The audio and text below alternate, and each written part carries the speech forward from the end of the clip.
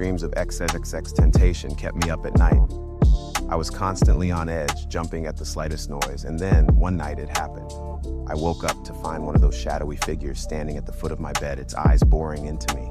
I tried to scream, but no